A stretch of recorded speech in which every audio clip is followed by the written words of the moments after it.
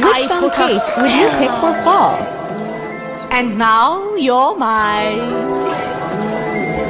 You can't stop the things I do.